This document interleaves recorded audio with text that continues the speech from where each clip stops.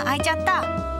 そんな時は Google モバイルで今から見られる映画を検索しましょう。例えば渋谷映画とスペースを間に入れて検索すると検索結果のトップに渋谷駅付近の上映情報が表示されます。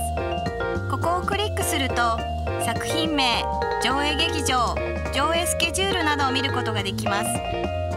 この検索方法はもちろんパソコンでも利用できます。さあどれを見に行くか決まりましたか？